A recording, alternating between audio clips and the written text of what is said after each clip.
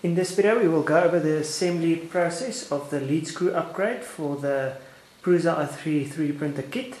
So what you'll receive in your upgrade kit are two lead screws, it's 8mm lead screws with a pitch of 8mm.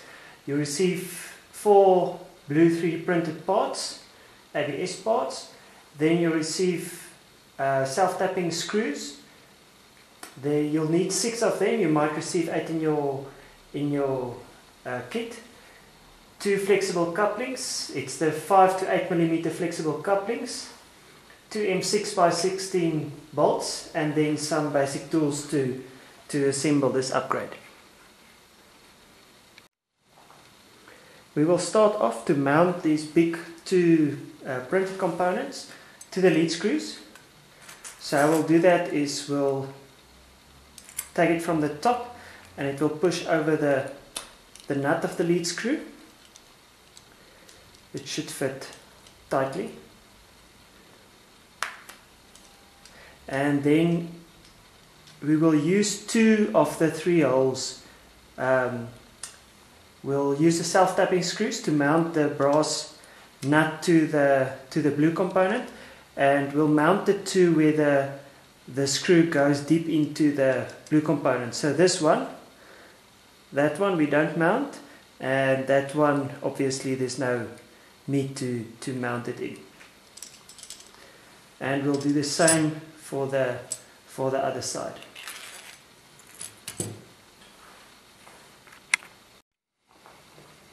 Okay, so now the lead screws look like this with two screws mounted there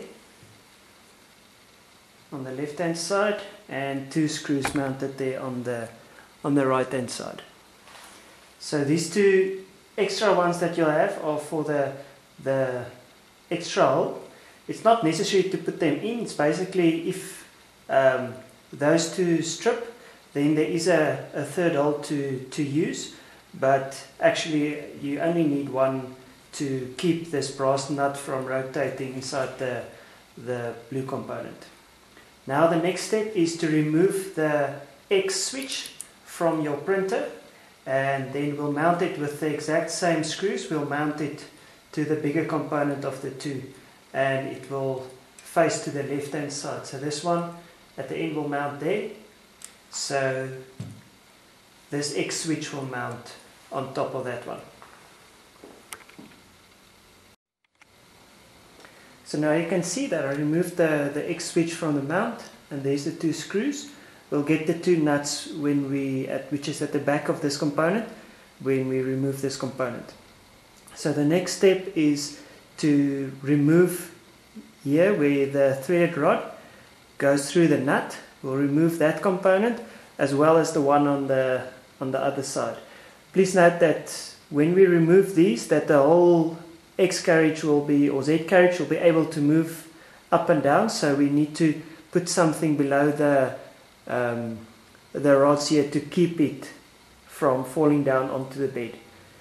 Um, you'll see that these screws does not go through to the back so we'll either need to use the sharp nose pliers to keep the nut steady at the back when we loosen it here else if you have a, a very small spanner that also works very nice to to keep the, the lock nut at the back while you turn the the screw from the front. Okay, so now we've removed the mounting that where the, the nut on the rod mounts to the, the perspex component and now the, the whole Z carriage can move up and down freely. So, and we did that on, on both sides. The next step will be to remove the, the four long M3 screws that the two on the left hand side that mount this component and then the top one of the, the two on the right hand side. So the one there on the bottom right hand side we, we won't undo. It will mount in, in that hole from the, from the inside. So we re release those three on this side and yeah, then we'll go to the next step.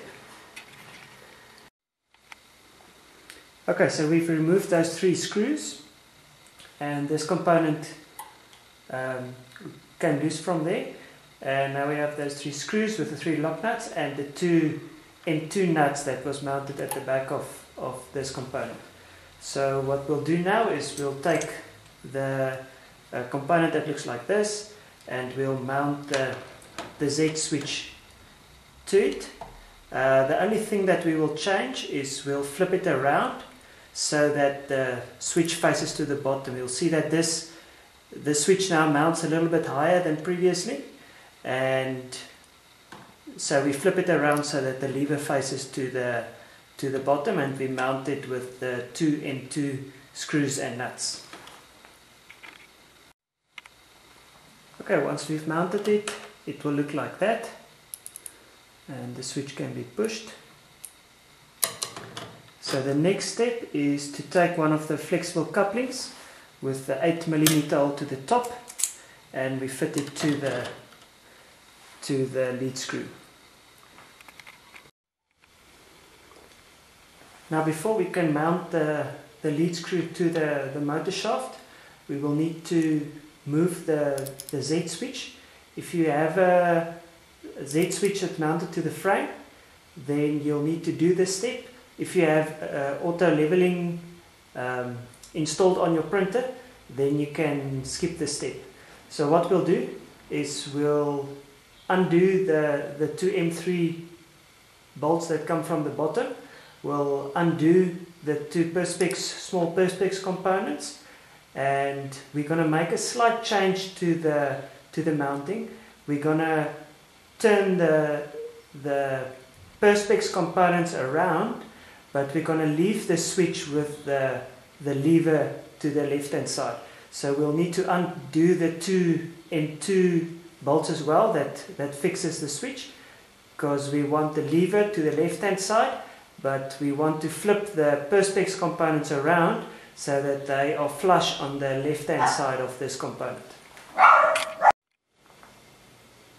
Okay, so now we've remounted the Z switch so that the lever is facing to the left hand side and the perspex components are flush on the left hand side of the, the bottom component.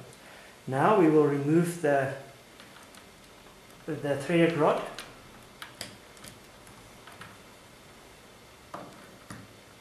push up the the tube then we can take it out and we will slot the the lead screw in now you can turn the, the lead screw till this blue component goes over the, the bolt that we left in the white perspex component and now we can take these three M3 bolts and mount this blue component to the, the perspex component.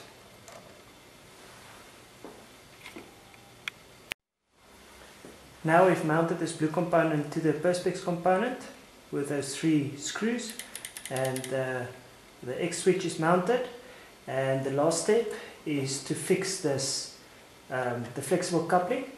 You'll notice that it can move up and down so the first thing to make sure is that the lead screw is touching the shaft of the motor else the flex of the coupling will um, have an effect on your on your Z height, so it will increase your your inaccuracy or your um, spring effect.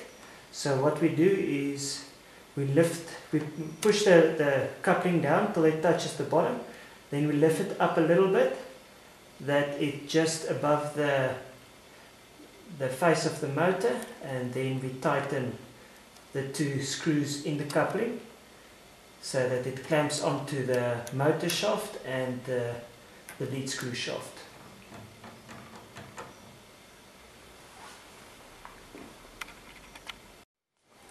The last step on this side is to take the other printed component that looks like this. It's marked with an R at the back.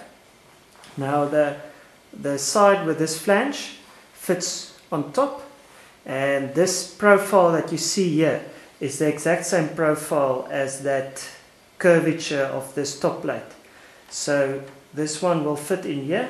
You might need to release those two screws that you can lift this plate up and then we mount it with one of the M6 screws from the top.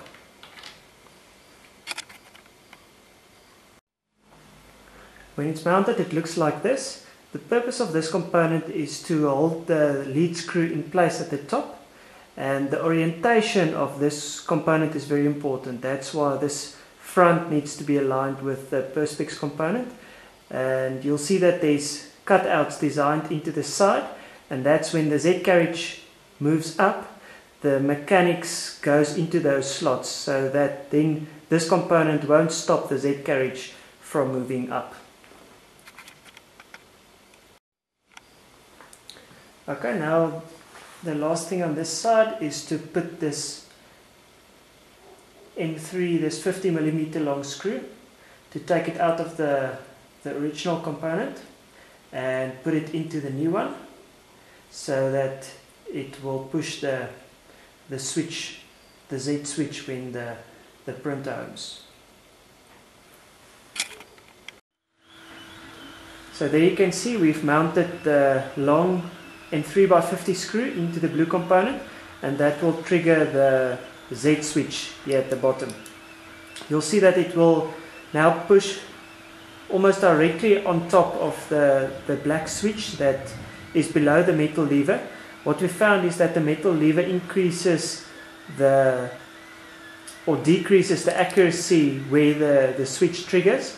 So if it pushes more to the left, then it's not as accurate. But if it, the closer it push on top of the switch, you're also welcome to remove the metal lever so that the, the screw presses the, the switch itself.